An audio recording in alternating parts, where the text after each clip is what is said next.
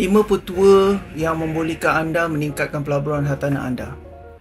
Satu, selidik lokasi. Lokasi adalah faktor yang paling penting dalam pelaburan hartanah. Kita, pelaburan kita di lokasi mempunyai permintaan sewa atau pembeli yang tinggi ataupun pertumbuhan penduduk yang tinggi, infra yang baik akan menyebabkan harga rumah kita akan naik. So kita kena uh, mempertimbangkan juga perkembangan masa depan seperti seperti, seperti apakah projek khas kerajaan, contohnya ada airport ke ataupun ada zone free baru ke ataupun ada pelabuhan baru ke. Jadi ini juga akan meningkatkan kita punya harga rumah. Yang kedua ialah cara kita nak pastikan kita punya pelaburan ni uh, menguntungkan ialah pembiayaan. Kita punya loan tu kena tepat.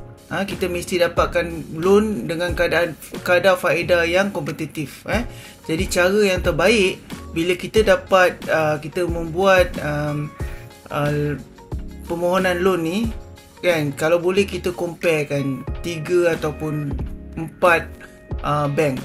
Obviously uh, orang yang terbaik untuk membagi memberi apa memberi khidmat nasihat ni ialah di samping perundingan tanah ialah mortgage eh. So kalau you tak pasti mortgage mana yang you yang uh, bagus boleh hubungi perundingan tanah you ataupun you boleh hubungi saya. Okey yang ketiga ialah kita nak beli rumah yang below market value. Okey, below market value ni uh, semua orang cakap dia orang nak tapi nak dapatkan dia tu kadang-kadang tak senang. Jadi macam mana kita nak buat kita discuss dengan kita punya perundingan tanah dulu. Discuss dengan cara uh, friendly lah eh. Uh, sebab perundingan tanah ni pun sibuk. Jadi mereka kalau boleh nak uh, orang yang memang dia tahu akan beli dengan kita. Katakan kalau tuan nak beli rumah dan tuan memang memerlukan khidmat uh, perundingan tanah kalau perundingan tanah tu tahu tuan hanya memerlukan khidmat dia saja bukan pergi cari dengan orang lain eh contohnya katakan kita ambil Cik Ali. Cik Ali tu dia bersama dengan Vicky.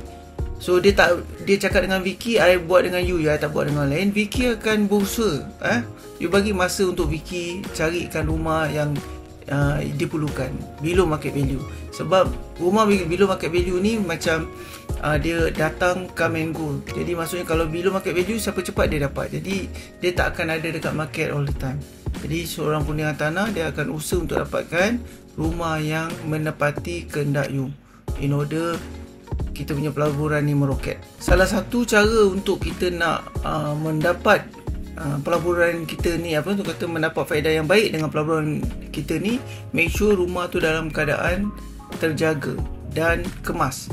Katakan kalau kita nak sewa rumah tu penyewa dia akan melihat uh, melihat rumah tu sama ada rumah tu uh, cantik ataupun tidak. Kalau sekiranya first impression rumah tersebut tu uh, tak bagus jadi dia tidak akan ma- apa willing untuk nak membayar sewa yang lebih mahal uh, jadi kita kena jaga dengan baik and then not only that katakan kalau kita nak menjual kan rumah yang keadaan baik dia mempunyai nilai yang lebih tinggi daripada rumah yang banyak kerosakan. Walaupun kerosakan tu sikit saya boleh uh, saya ambil contoh ah ada satu rumah uh, dia pansupuri dia punya ruang tamu dia mozaik dia dia pakai mozaik eh dulu rumah lama mozaik dia pecah.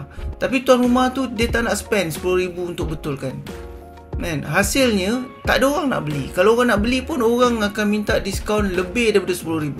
Diskaun sampai RM20,000, RM30,000 sebab dia tak tahu apakah masalah lagi yang timbul kalau dia beli rumah tu kan.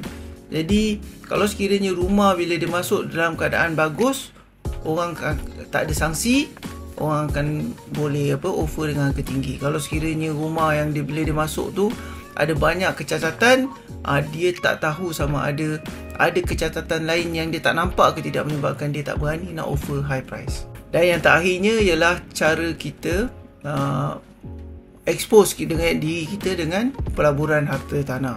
Jadi benda ni memang dia berterusan. Bukan sekadar bila kita nak beli atau nak jual je kita nak belajar tak. You just belajar sedikit-sedikit berkenaan dengan apa tu pelaburan sama ada saham ataupun unit trust ataupun uh, apa tu uh, foreign exchange ataupun precious metal whatever teruskan.